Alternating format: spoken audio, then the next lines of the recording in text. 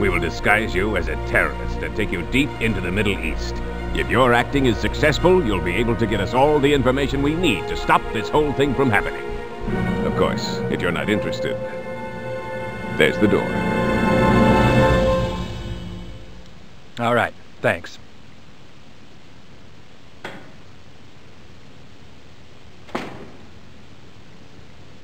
Huh.